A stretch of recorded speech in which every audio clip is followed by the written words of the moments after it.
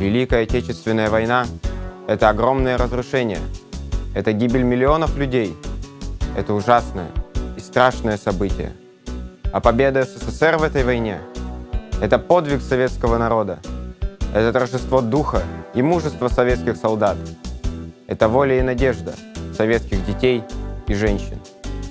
И этот подвиг будет помнить каждый, и через десятки, и даже через сотни лет. Я хочу сказать спасибо тем людям, которые не дали захватить фашистам русскую землю. Слава ветеранам!